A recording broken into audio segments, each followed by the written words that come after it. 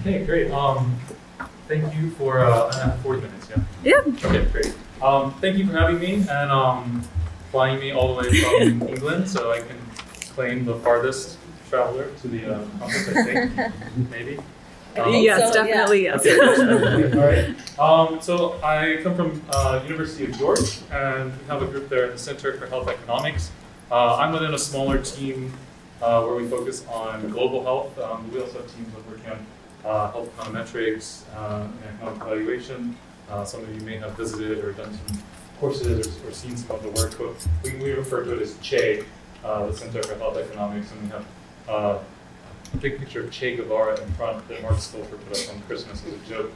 And, um, so, uh, but I'm talking today about equity and economic evaluation um, and in low and middle income countries because that's uh, my focus. And I'm going to be talking a bit about a framework that we call distributional cost effectiveness analysis that's with um, uh, several other people. It's led by uh, Tony Culyer and uh, Richard Cookson and Susan Griffin um, and several others, and we're all kind of working a bit in incorporating equity and inequality in the economic, evalu economic evaluation frameworks uh, that are used. So um, it's just so you what I was going to talk about, but I'll just talk about it instead. Um, so I don't think we need to go too much more. Everyone, I think, uh, after this uh, conference so far knows all the different problems that we're talking about with equity um, or, inequality. Uh, we tend to think of um, equity as some sort of fairness or social justice-based inequality. So uh, we try to build that into some of the frameworks and happy to talk a bit about how that uh, works within the framework of, of the distributional cost effectiveness analysis. Um, but just the basic concept that there are persistent social gradients, we've seen how um, some of those manifest. Uh, within the global health uh, kind of field, um, and global health specifically thinking low middle income countries, um, there's the, you know, the WHO commissions on social determinants of health.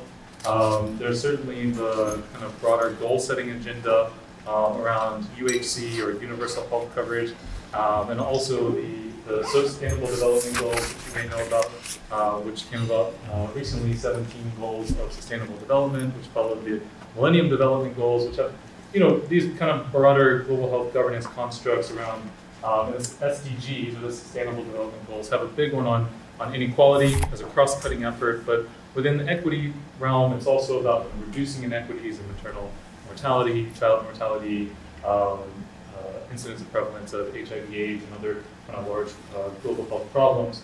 Um, but you know, it also brings into um, play anything that really relates to inequity and kind of social justice. There's there's issues of poverty, um, climate change that are all built into these goals, with equity and inequality kind of uh, intermingling throughout. So um, within my last bit on SDGs is just that there's a health-specific goal, and within that there's one on universal health coverage that actually does um, the only measure of universal health coverage that's actually an indicator, which are these sub-goal indicators, is around financial risk protection um, and the incidence of catastrophic uh, health expenditure, um, which is a bit problematic in terms of measurement in a lot of countries. So, um, and finally, yeah, uh, just presenting that there's you know persistent health inequalities in the United States, certainly also in the United Kingdom.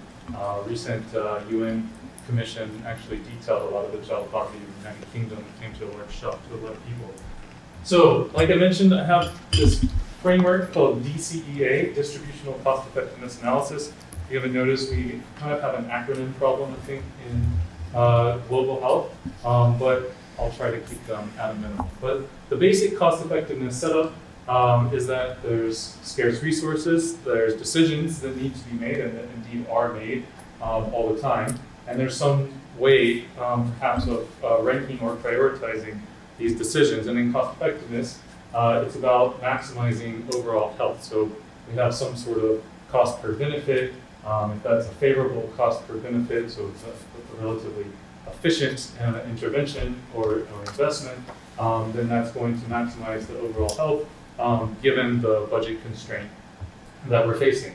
Um, so, I'm just, I guess part of the talk is to give you some of the more recent thinking that we're at in York. And a lot of that is coming around through the communication of cost effectiveness um, to non-UK audiences. So one thing we would say now is resources and not um, budgets, um, because the concept of budgets doesn't transfer as well in a lot of places. So thinking of resources, we actually have a, uh, so Karl Claxton has a swear jar, so every time we say certain words that he doesn't like, he makes us put a pound in jar. Um, they're not worth as much these days. Um so the um, so this is our our you know broader decision uh, context that we're in. Um, within traditional cost effectiveness analysis, uh, it's common to use um, average level costs and, and effects. Um, there certainly is some recommendation to look within equity. If you look at like the CHEERS guidelines or um, these other kind of broader um, uh, checklists for what to include in your cost effectiveness analysis. Um, but been part of several systematic reviews and, and other authors, really people don't include uh, equity analysis, maybe a, some nod towards subgroup analysis within cost effectiveness, but we don't look at distributional um, issues. Um, to start thinking a bit about uh, the equity frameworks that, that can be incorporated, um, it's interesting to think that cost effectiveness itself is not an equity-free concept. So there is um, uh, you know, talk about how do you weight different outcomes. Uh, here talking about quality adjusted uh, life years, um, could easily be any other generic measure of health or, or whatever measure of health you're actually looking at in your evaluation problem. Um, but the fact that if you weight QALY as a QALY for one person versus another person in the same way, that there's some sort of uh, utilitarian, or quasi-utilitarian, because we're working with QALYs and not welfare, um, uh, proponent where we're just trying to maximize um, the total level of health um, given the, the cost effectiveness um, question. So, you know, to think of it as a duty of beneficence or sort of public provision by policymakers where we assume that they're also interested in uh, maximizing total health, not necessarily the case.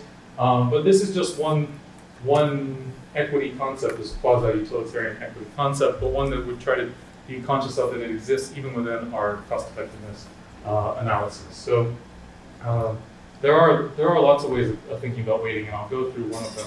And those that were familiar with how the DALY concepts of disability adjusted life years were measured, there's quite a big debate when they were first measured about age weighting, um, etc. So the next kind of um, just real quick conceptual issue that I want to get into is thinking about how equity has been used in cost effectiveness analysis and in the literature or in practice. Um, and there's one level that kind of fits more into the social determinants of health and population health um, perspective, and that's the one I'm going to focus on. And that's thinking of these kind of uh, lifetime perspectives in terms of uh, health gain throughout the lifetime or uh, the gap in in the health that you would have achieved if you um, you wouldn't have received an intervention or would have received an intervention.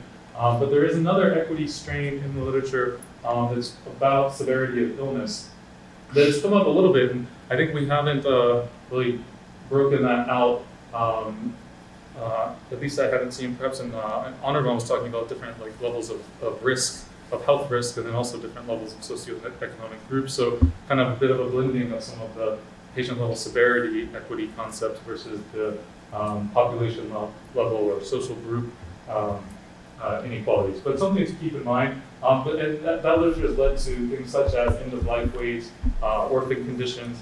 Uh, the NHS uses a different decision threshold um, for uh, orphan drugs, um, and that's around these severity illness concepts um, as well as other things.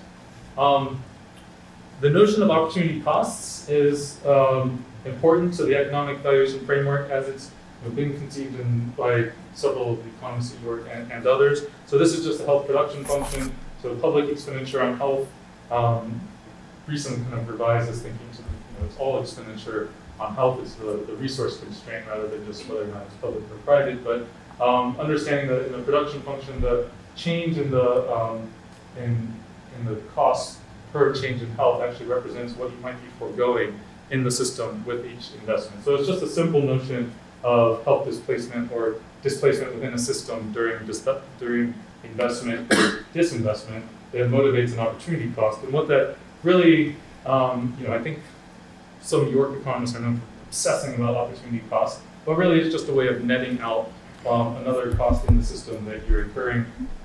Um, and I'll talk a bit about, how that relates to um, equity. So this is just the basic setup. Um, again, for most of you that work in cost effectiveness, this is going to be fairly familiar.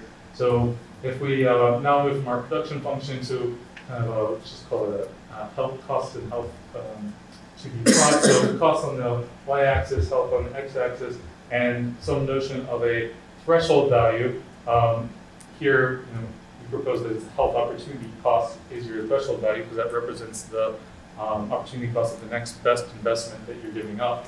Um, and looking uh, at intervention Y, which falls below our, um, our threshold value, uh, then gives us a net positive health um, if our net health is a health gain minus the health displaced. So a positive value of net health um, would be, uh, you know, it's going to fall under essentially, for those that know more about ICERs, so incremental cost effectiveness ratios, the slope parameter is lower than the slope of the, uh, the threshold value that we're using. So, and again, very similarly, but in the opposite uh, intervention X that's uh, less cost effective is giving us less health um, per unit of expenditure.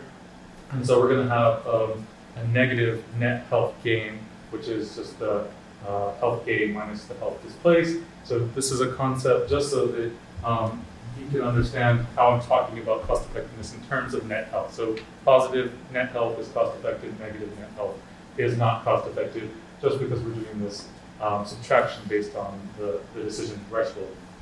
Um, so one kind of innovation we like about distributional cost effectiveness analysis is bringing in um, distributional opportunity cost that um, different types of expenditure actually have different opportunity costs based on um, uh, disadvantaged groups or social disadvantage. Um, and it kind of gives you uh, a bit of a tool for thinking about um, your cost effectiveness results when you break them out into distribution. So uh, if we have some intervention that's giving us, let's just say, you know, in terms of the gross health benefit, some sort of uh, pro poor, um, from the poorest to the richest, some sort of pro poor distribution seems like a good uh, investment um, just on those equity terms. And then the drop in terms of the, what we're giving up in opportunity costs to give us net help. then also, if we assume it's equal across groups, then gives us another pro poor uh, good in terms of equity uh, conclusion. If we do think that now these parameters differ, so again, it's just the slope parameter here um, that we're talking about, but if now this does differ by socioeconomic group, um, that the drop is now larger in the poor, so the poor are able to benefit more from some level of expenditure or, or public expenditure budget, um, then they're now uh, incurring a larger opportunity cost. Uh, then we actually see that the net health benefit, once opportunity costs are netted out, uh, is now pro rich. So um, it's no longer on equity grounds looking like positive uh, or uh, an attractive uh, investment. So in the UK, there's a, so um, Richard Cookson, uh, James Coe, and a few others have actually taken UK data and kind of worked within some of these uh, public economics and public finance um, literature. Some uh, like Nora Lustig Tulane does quite a bit of this, looking at public finance and um, the, the, marginal incidence of public expenditure by socioeconomic disadvantage. Um, a lot of progress in um, Latin America.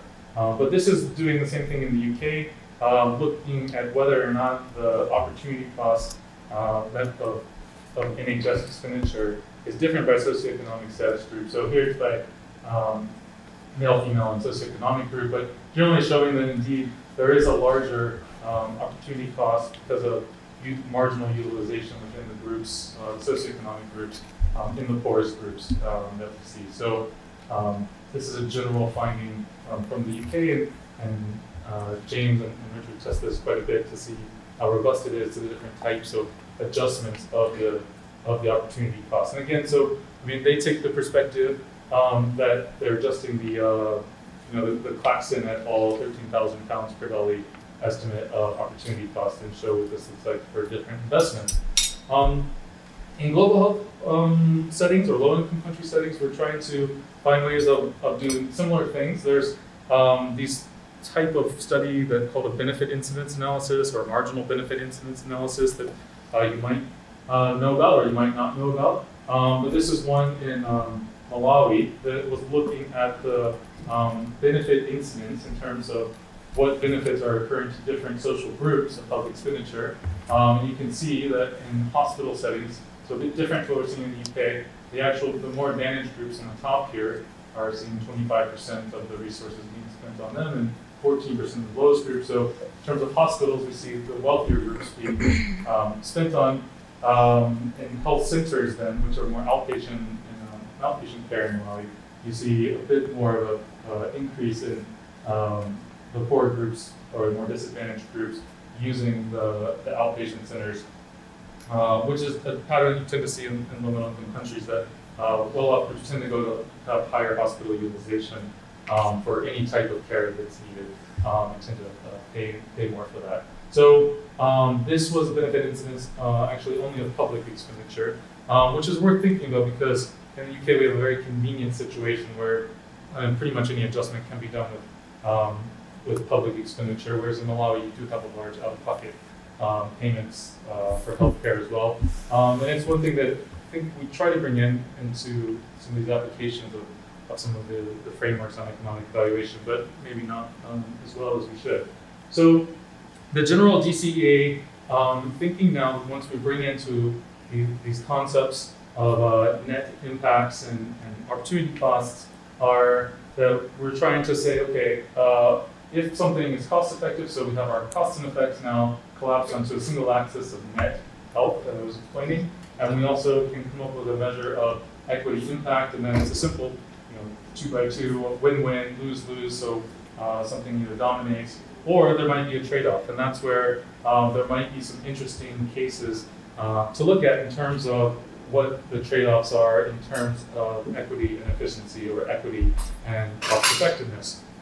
Um, you could just stop here, right? So one thing that, that some some groups in the UK, groups at uh, Liverpool are, are doing is taking um, plots like this, uh, coming up with what's the appropriate equity measure on the x-axis. Again, not so straightforward to standardize equity measurement, but if you pick a measure and, run with it, you can start plotting where interventions fall on these lines. And there's some uh, nice papers on, um, there's one on cardiovascular disease in BMJ that looks at uh, different prevention versus treatment options and where they fall on these lines. You find that a lot of the prevention options end up being um, pro-poor uh, sorry, pro-rich as we call it, due to the, the nature of the, the, agency nature of the intervention that you need to actually seek out the, the preventive measure, um, things that are more targeted and, and, have some equity measure built into them.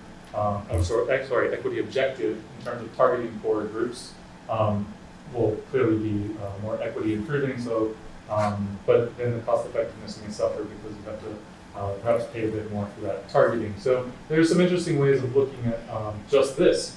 Um, but we move a bit beyond it, and what we do is move beyond this to understand these trade-offs in terms of a social welfare function.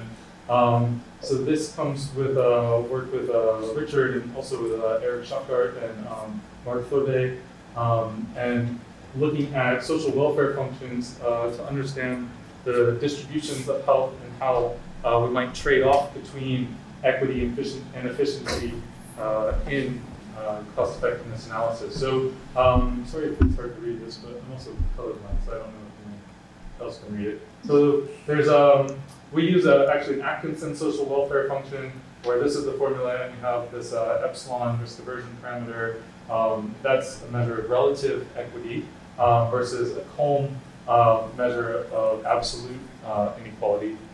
Not equity, but um, which has this alpha measure, which is the same thing. It's just an inequality aversion um, parameter. So this is just saying, given that you know what your inequality aversion parameter uh, is, we know how we trade off some measure of equally distributed uh, health um, across different groups. And so this comes from a lot of the, uh, the uh, income inequality literature um, in building out social welfare functions. Um, I'll talk a bit about this on the next slide, this, this notion of a utilitarian versus a Rawlsian um, uh, approach to it. So a, a different figure now, uh, two different groups and a, uh, a frontier uh, type analysis. So this is kind of just a foreshortened graph here, but um, showing the equal health line, then we have an advantage group um, on the x-axis and a, a, a disadvantage group on, on the y-axis. So we're always going to be having more health in the advantage group as a stylized you know, fact, pretty much, or just a fact. Um, so we're probably never going to reach full egalitarianism in society, it's just kind of reality.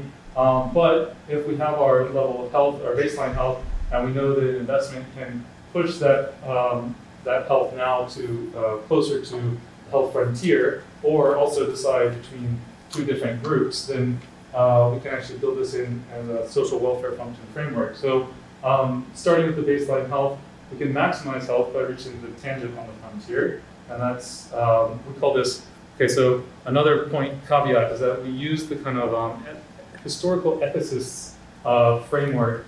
Um, it's being criticized a bit by real ethicists that, um, that you know, say that Bentham wasn't necessarily a full utilitarian and he had a lot of copy, you know, there's a lot of things. So we're using this in a very stylized way. This is a, a Bentham utilitarian.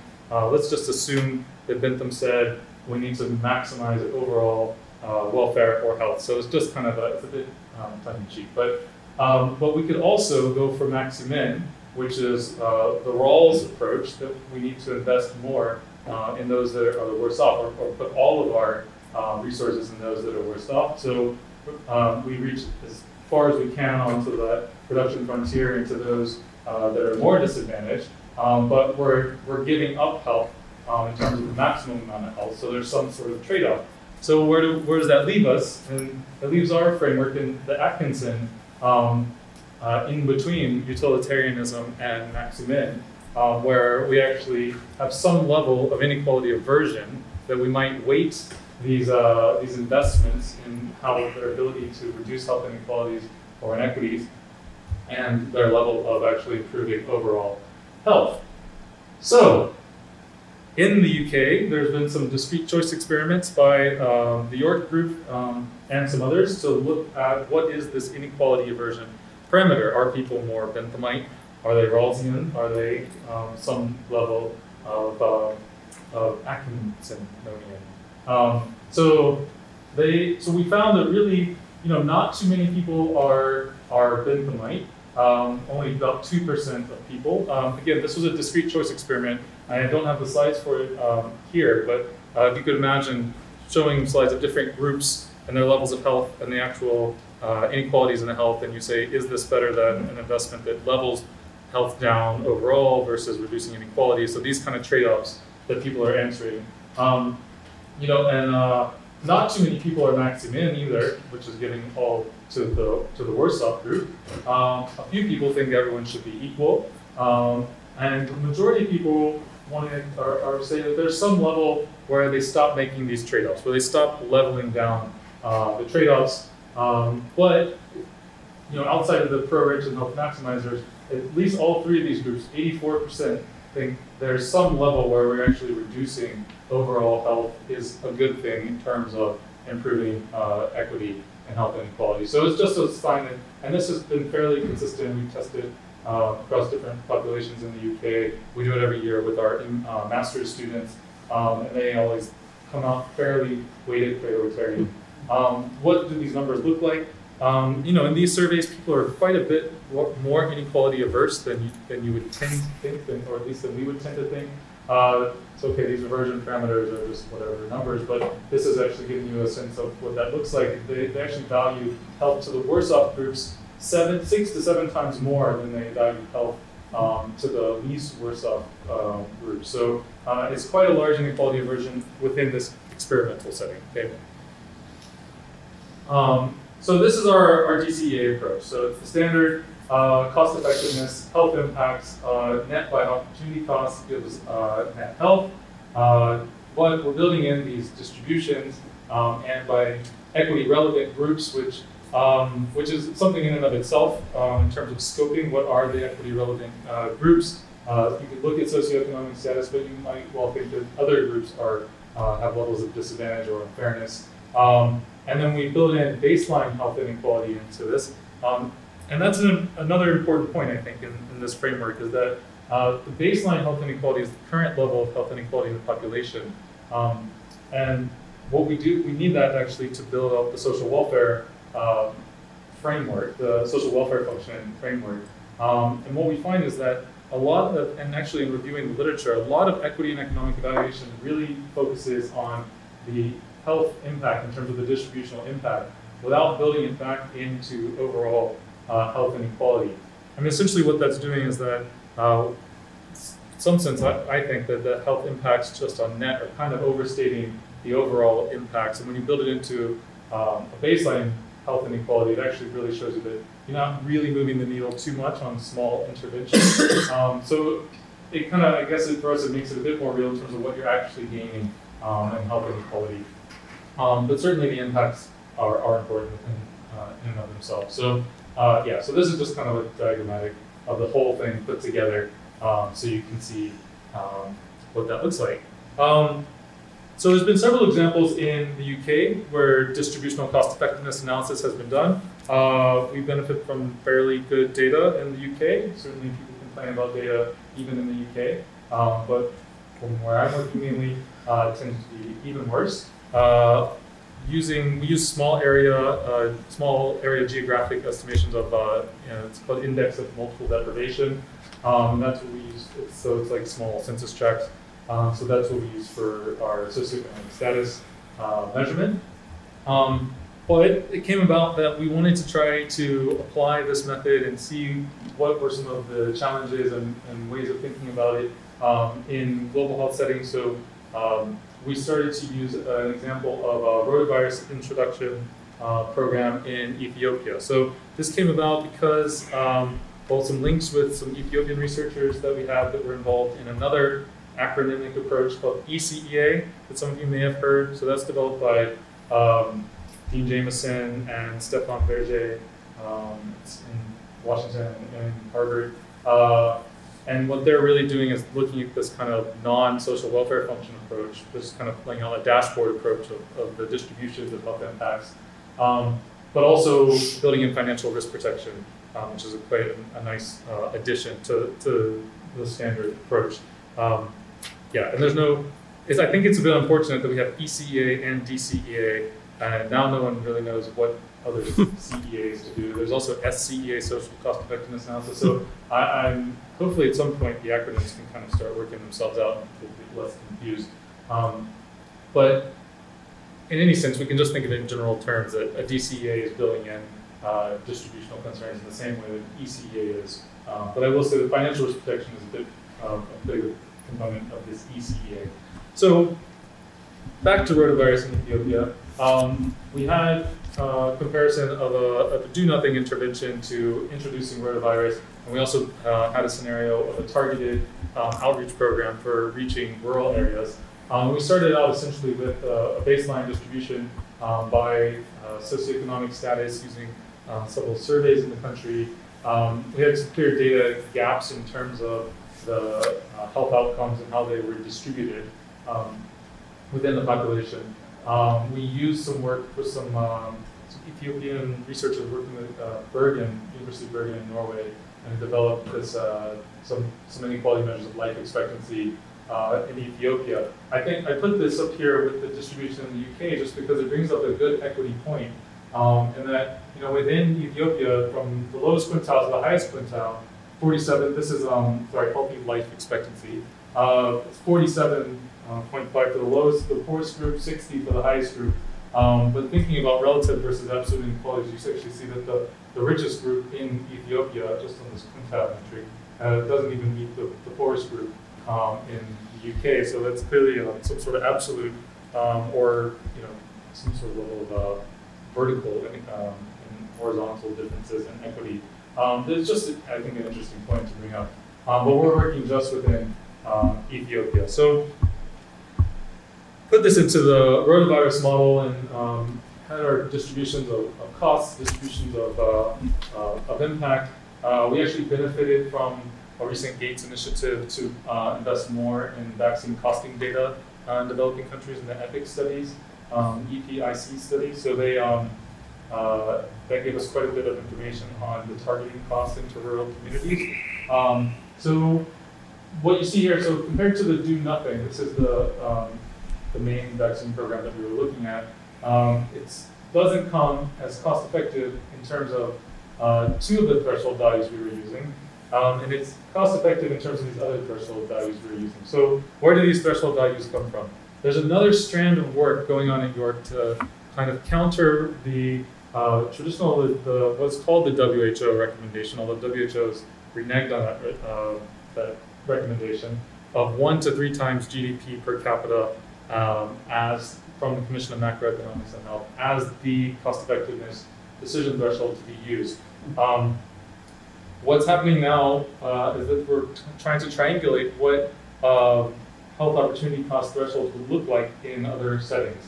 So this estimate of 10 to 255 is the range of values that were found for Ethiopia using an income transfer approach similar to how you might transfer a value of statistical life across settings if you're familiar with some of those um, approaches. So um, that is purely cross-sectional approach. Another way that we're doing now, actually using some uh, panel data in several countries, uh, particularly Indonesia and South Africa, um, to look at what the opportunity cost threshold looks like using the UK type approach, which is uh, essentially finding some you know, quasi-experimental variation uh, in, in health expenditure and health and, and understanding what that um, what that buys you to give you the kind of efficiency parameter that you need. So essentially, um, that's all to say. The, using the range from the income transfer approach, which are these this between these two lines.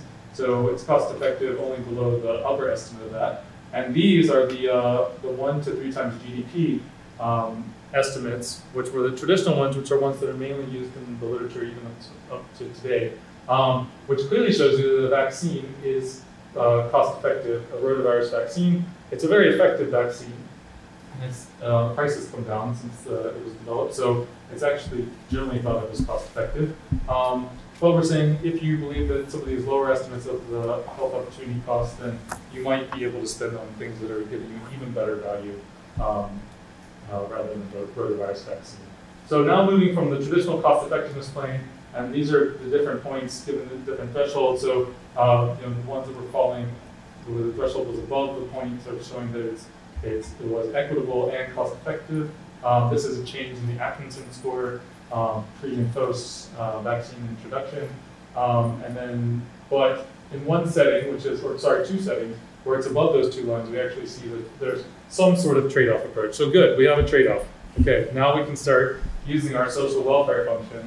Um, uh, yeah, so so this is what it looks like once you incorporate it into the Atkinson um, framework. So the same thing can be done with the Kolm framework and other um, uh, functional forms of the social welfare function. Um, essentially, how do you read this graph? So given the different decision thresholds, um, this is now called um, equally distributed equivalent health.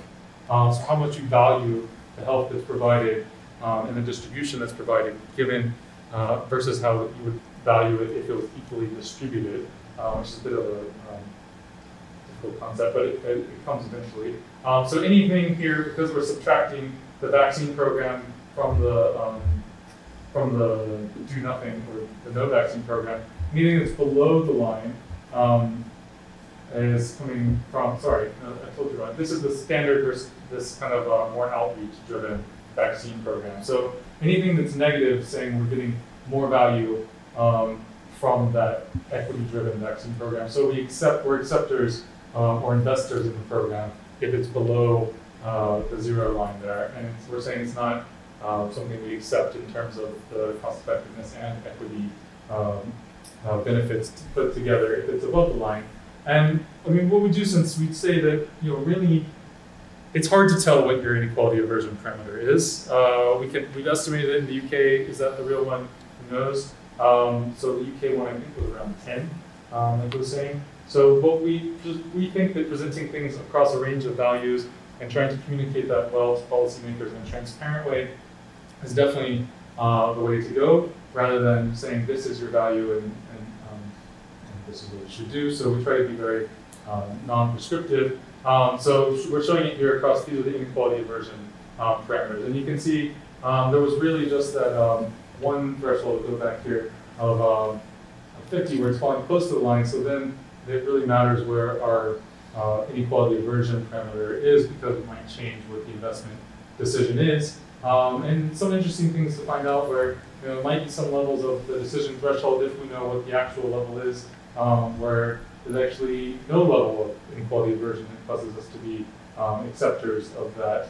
Um, uh, of that. So that's just saying, you know, if that uh, threshold is very low, there's not actually a level of uh, inequality that we can achieve um, in terms of the level of inequality and the level of efficiency, or we would change the decision. So that was some interesting things I guess we're starting to come out of this when we're looking at um, an Ethiopian uh, setting. So um, I'll talk just quickly. I mean, the DCEA approach has not incorporated financial risk protection. Five oh, minutes? Five minutes, yeah. Okay, has not incorporated financial risk protection, but um, we have a uh, handbook coming out from Oxford University Press. It's talking about, it's coming in supposedly into 2019, where we're going through a lot of the DCEA approaches. Um, we do it in a way, so, uh, the lead authors are, are Richard uh, Cookson, Tony Culyer, and Susan Griffin.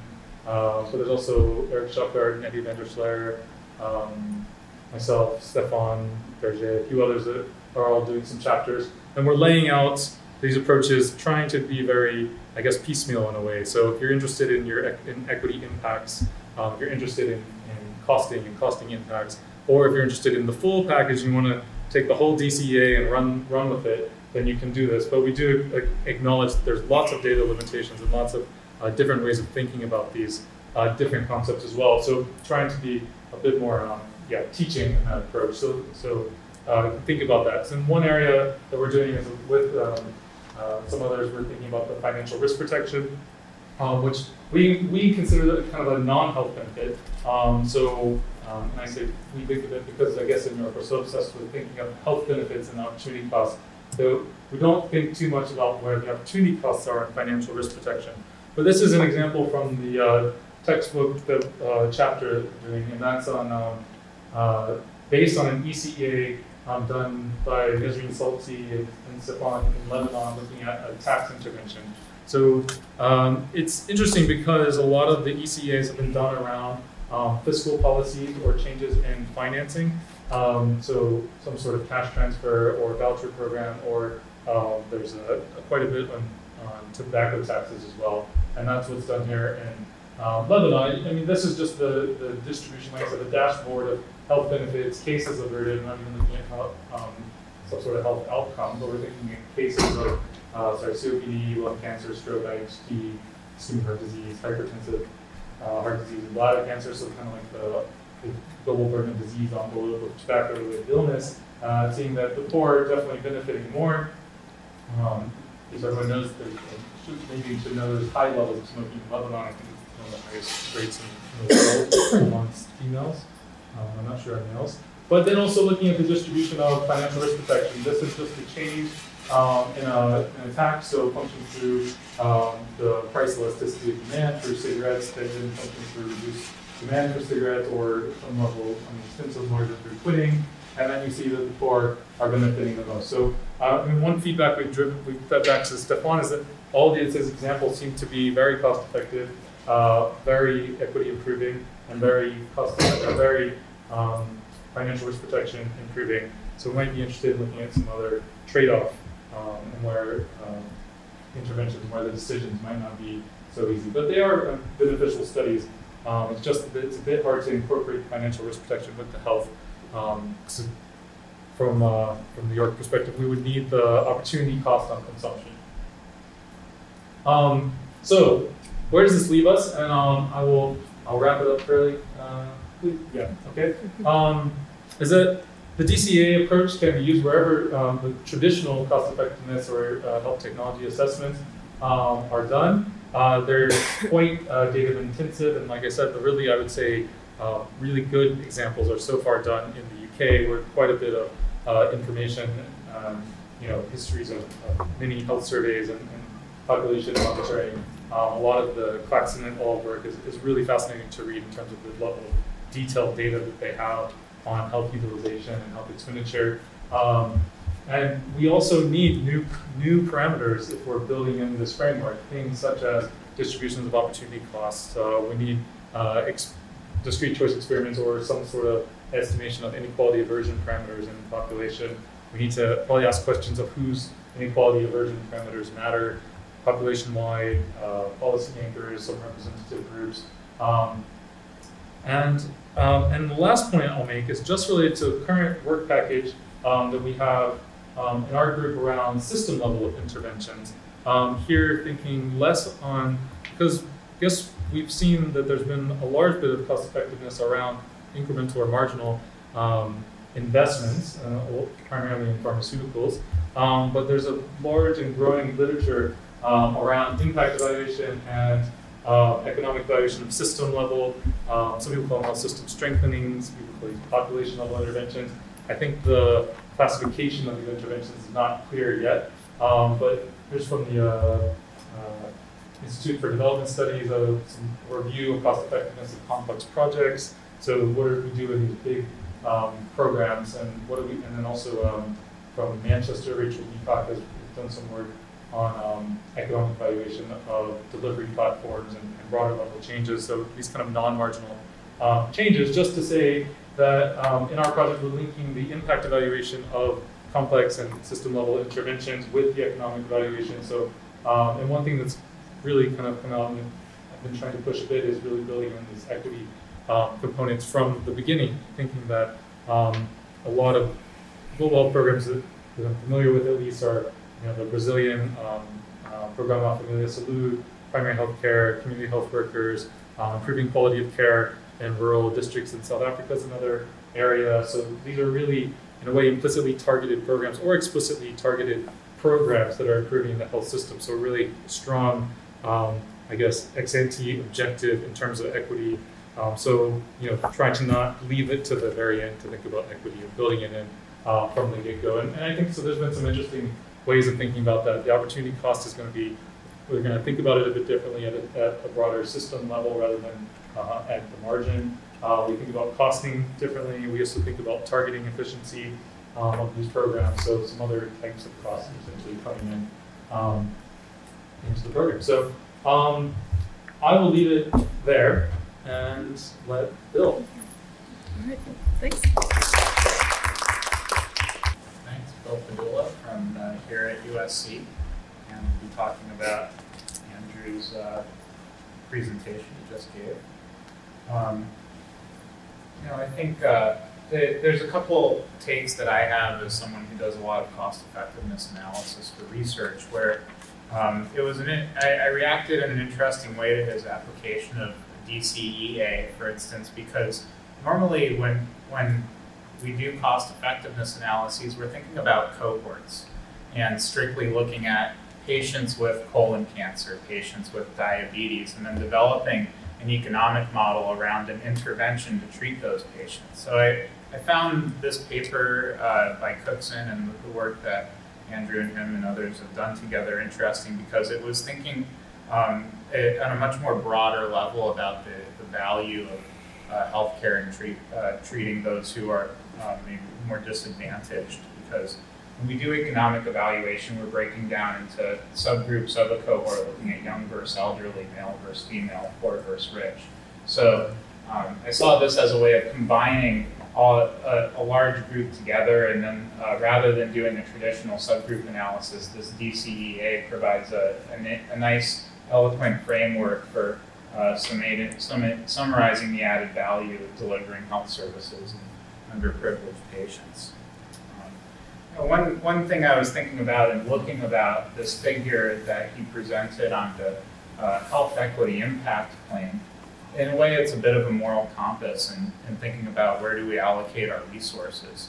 Uh, this plane is not fixed. You know, this origin is really adjustable depending on your willingness to pay threshold. So a country like the United States should be able to find a lot of excuses to develop uh, uh, health, public health interventions that are equitable because our willingness to pay threshold is high. To, like Andrew said, two to three times our, our GDP per capita. So in fact, the, where the bar sits at the cross in the middle, uh, we should be able to drop that down a lot and argue that a lot of public health interventions to make more healthcare more equitable for everybody um, is, a, is a cost effective and as he, as he puts it, a win-win or at least a win on the cost effectiveness side. Uh, there's some, some issues with quadrant two that I'll talk about in a second.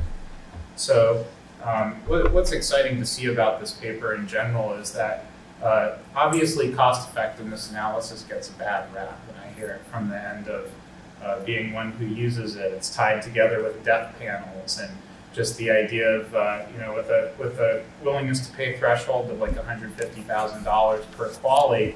Um, in a way, it's allowing pharmaceutical companies to justify high prices on their drugs. You know, and, and I'll get to the fact that these expensive hepatitis C treatments, for instance, are under 150,000 per QALY, and everybody's like, how am I going to afford an $80,000 drug for a 12-week course of treatment?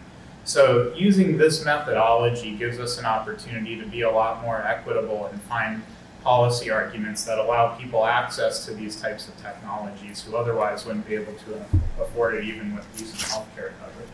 And I'll take you through three quick examples that I could uh, turn up on uh, this topic of hepatitis C and then going back to Andrew's uh, deep dive into vaccines and then thinking about another topic in medically necessary health coverage with a paper that I work on uh, as an application and cost effectiveness. Uh, the first was uh, the, this paper that a graduate student of mine, Taruja Karmarkar, did for her dissertation this past year looking at hepatitis C, where we found some really interesting information in her data. Uh, obviously, the, the treatments like Harvoni and Sovaldi uh, range in price from 70,000 to $85,000 for a 12-week course of treatment. Um, and at that price, only about 25 to 30% of those diagnosed with hepatitis C are able to access the drug. Uh, so my, my question is, what is equitable? You know, millionaires and billionaires can obviously pull their wallet out and just pay for it in cash. Uh, those who are very well insured in this country can get access to the 12-week treatment at a, uh, it, provided that they, they have a, an accurate diagnosis. But Medicaid patients are only being covered for high when they have a very high fibrosis score, so they're very near to death, as one would put it.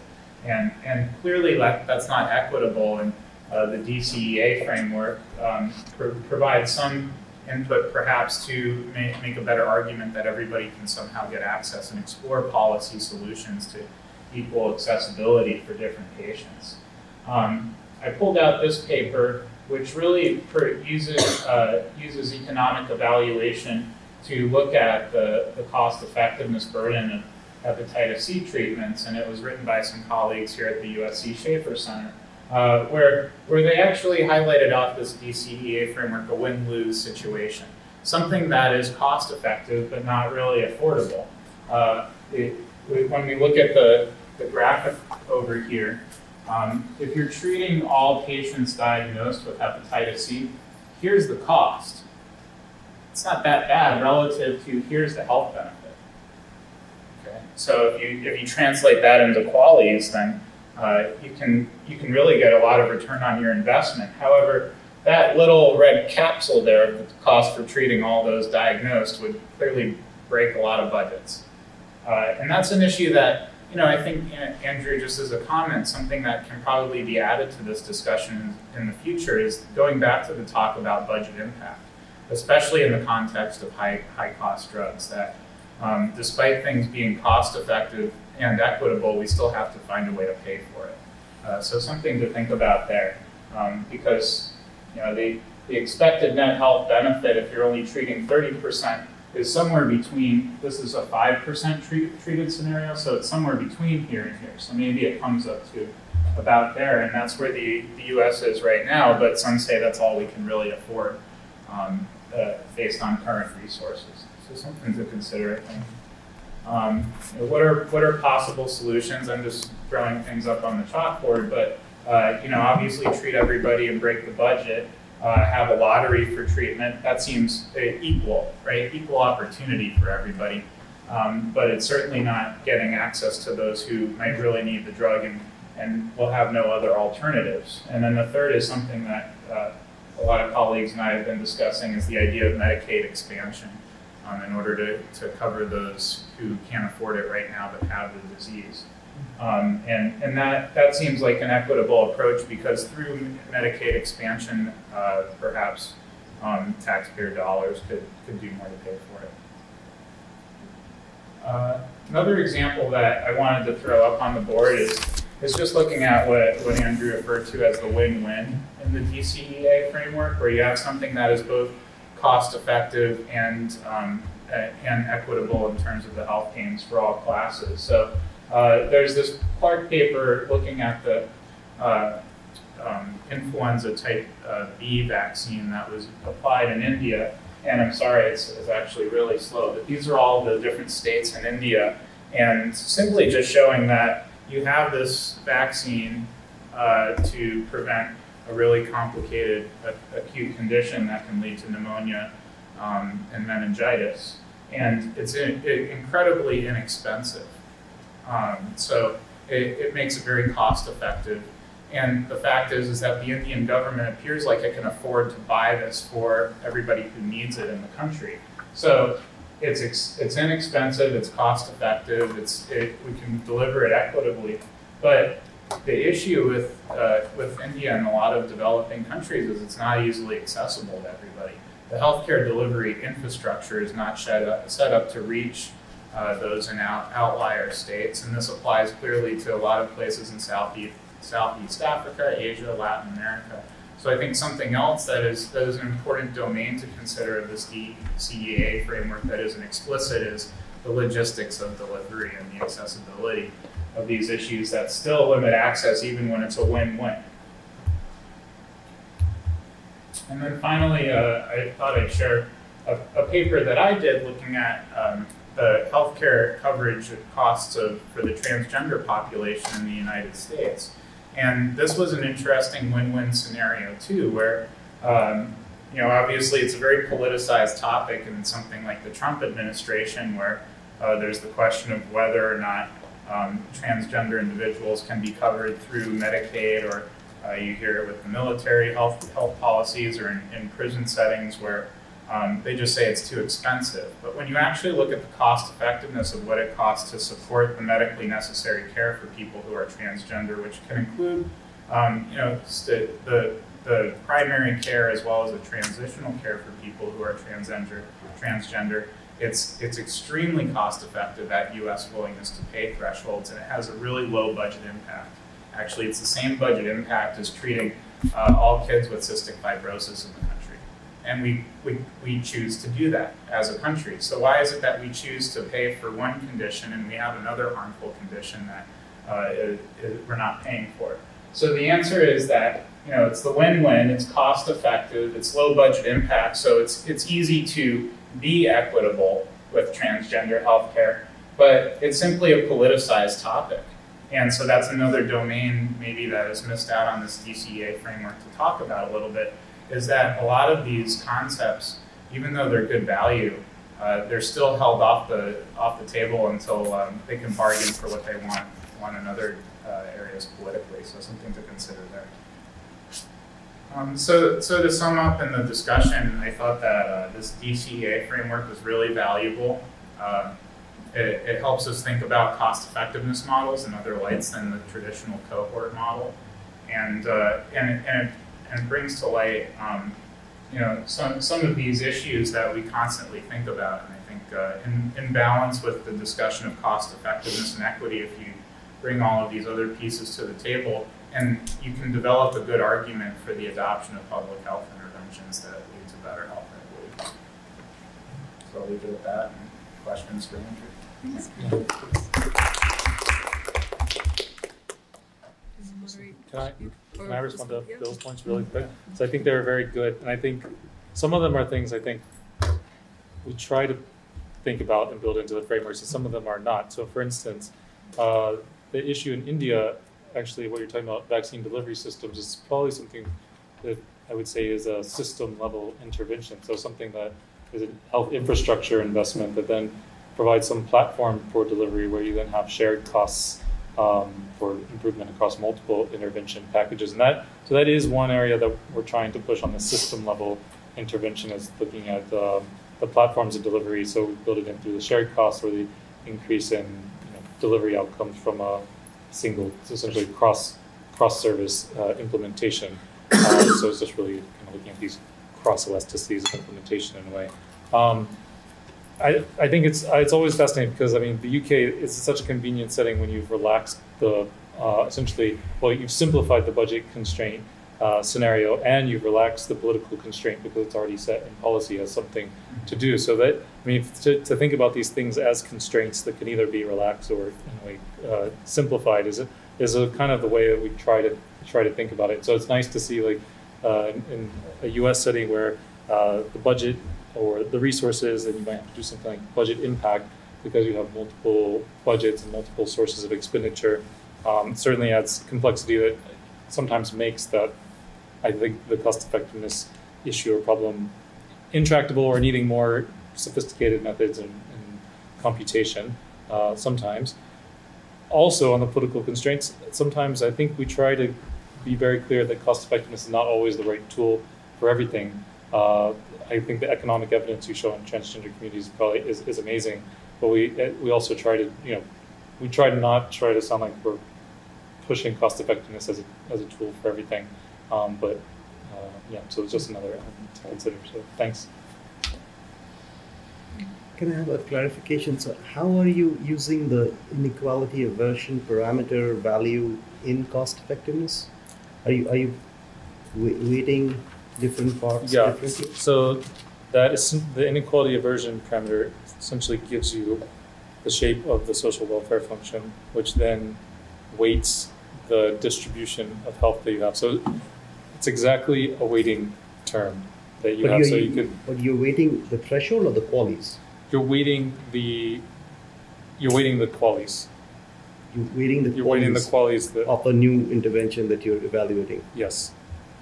But so you have to know exactly, like for a diabetes intervention, what fraction of those QALYs would accrue to poor people versus rich people. Yes, exactly. Is that feasible? Um, well, in I mean, we do it in a modeling framework, right? So we Yeah. have um, a disease model. We have the effectiveness of a, a vaccine can be, for instance, yeah. So I think in vaccines, okay, we can think about a diabetes intervention. Some parameters might be stable across socioeconomic groups. Some might be incurring some different costs at different levels or have different levels of coverage and access um, that then determine those downstream health outcomes. So yeah, so we do. So I mean, have I mean even if the parameters doesn't change, you still have to have some sense of the prevalence of your target population, where some people would be poorer and some people would be richer who would get that intervention, Yeah, and basically you you would use it to kind of up upweight yeah. the health of the so poorer. we we do. I mean, in the baseline, we do characterize the health burden by the social disadvantage or, or social group that we're interested in.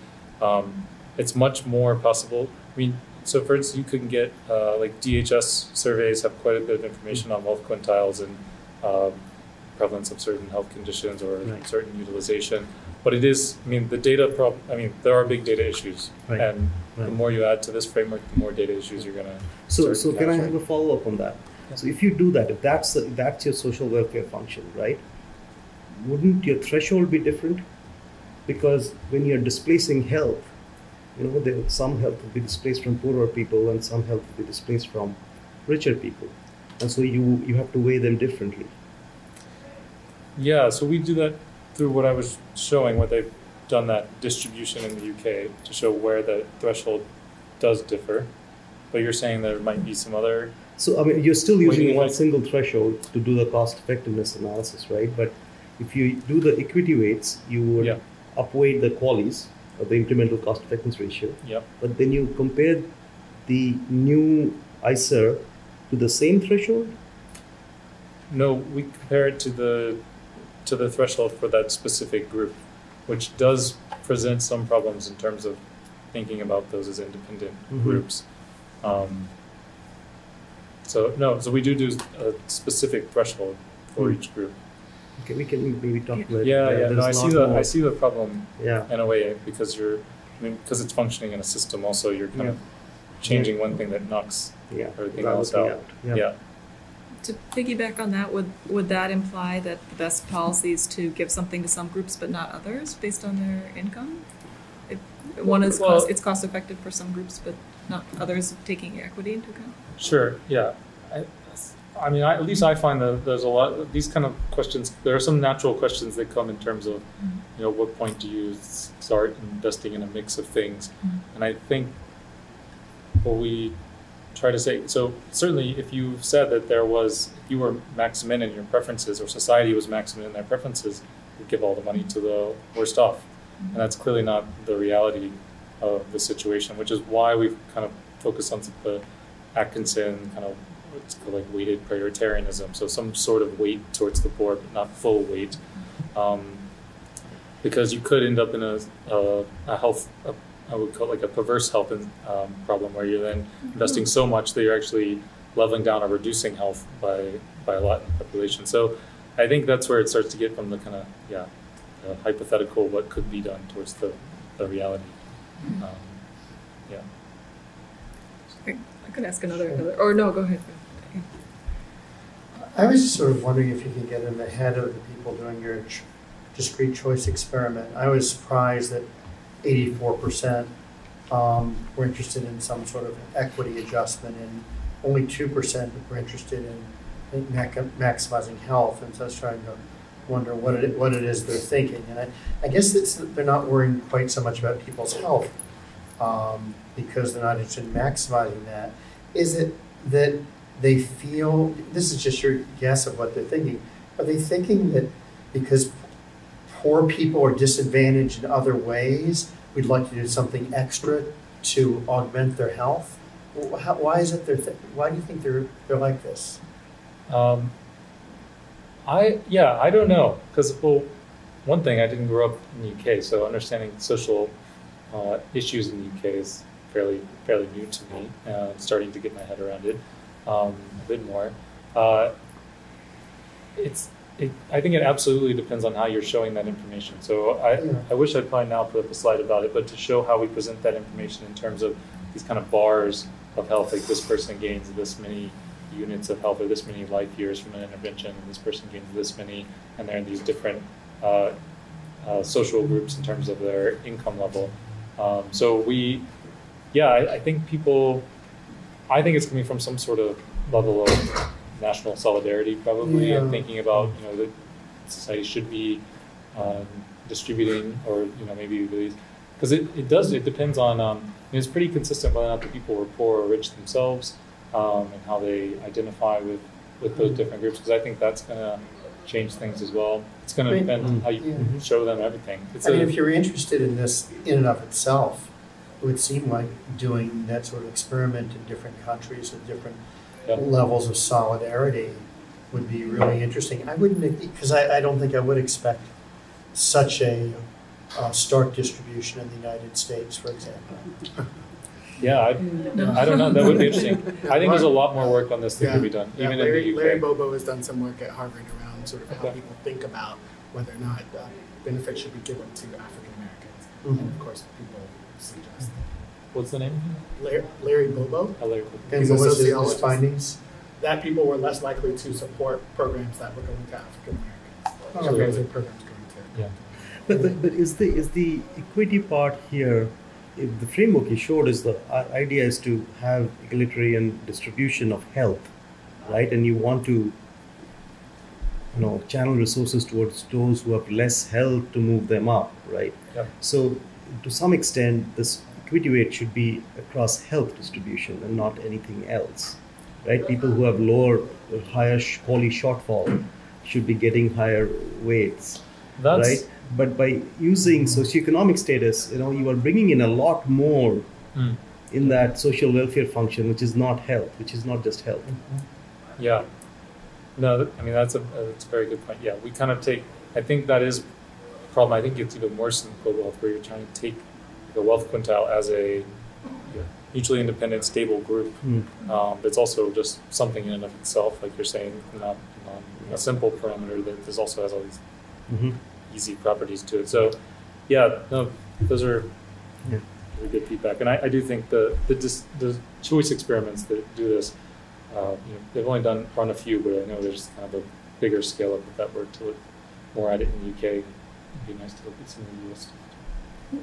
Related to your comment, I was wondering within the framework, how do we address that using QALYs enforces a dimension of uh, inequality in that interventions that prolong life for people who are able-bodied will be valued more than interventions that uh, prolong life for people who are disabled and won't return to able status. That is a, that is within the general QALY uh, and DALY criticism and um, yeah. So I, that's I, I think that's a great question. I think it's a bit um, hard for me to answer without being. We without- are, it's we are, we are working more of a study on quality. Yeah, I mean it's around Yes. concept people that are you know are, are um, hearing impaired or Mhm. blind uh, don't identify always as having a disability. Whereas you know we asked a person that's not blind if they became blind how much they rate that disability. Yeah. So I think um, so that that I think is a, a big issue within the whole health metric Right. uh, literature as well to think about. But- and But that issue has been blown out of proportion a lot because you know at least the ICER reviews, none of the evaluation was had that problem because they didn't review anything for you know especially for disabled Yeah. patients. Um, and yet when the CVS came out with the threshold, which obviously is a weird thing to do, a lot of the backlash was based on that that comment, uh, but it was never used Sure. in the Yeah. evaluation. yeah, So yeah, I'm not. So I, I know it's it's a um, limitation that I don't know what it advances in this area, but is what if you were to weight the change in health due to in relation to the the sample population's current state, like if those weights versus a healthy life year, but it's you value Well, you know, there are a lot of recommendations in the literature. Erik Nord has put forth recommendation how to solve this. You know, uh, Magnus Johannesson has has other recommendations, but these are all ad hoc fixes to a to a infrastructure that is like more theory based. So anything that needs to be changed needs to be driven more kind of from theory and mm-hmm. says like what you know why why we are changing it and what mm-hmm. what implications it would have. But if you, you will find a lot of ad hoc recommendations about how to change this. I mean, the other point that brings up to me is also, I mean, like Bill's point on looking at transgender community. So very small, vulnerable communities, small relatively to the general population in terms of numbers.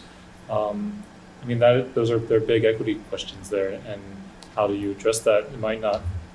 So far, I wouldn't say this is the right tool because this is looking more at this kind of population level distribution. So far, yeah, we use the socioeconomic status as some sort of uh, stratifier, but to really start weighting any disability group or, or other types of disadvantaged groups, I think start to think maybe think about other tools or other ways of building maybe new frameworks or new ways of thinking. Because I, I, I agree. I think you could start. There's clearly a lot of injustice and questions of fairness, and once you start breaking down to smaller groups, it's harder. Okay, well, um, that's all for the presentations. We have lunch outside, and that's the end of the conference. Thank you. Oh, thank Thank you. you. Thanks. Yeah.